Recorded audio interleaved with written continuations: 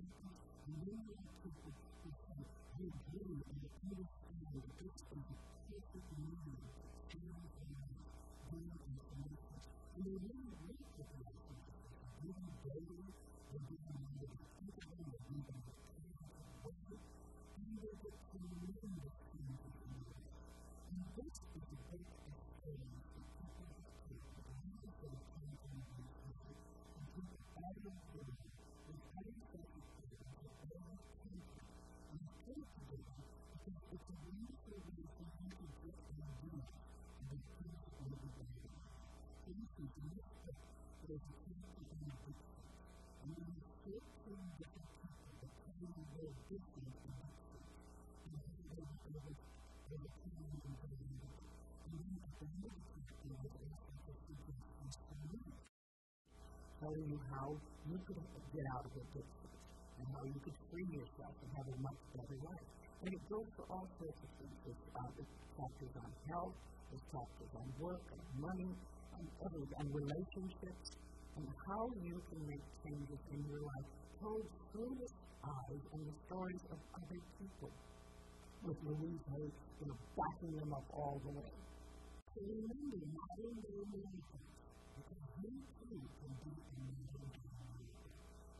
or what I you,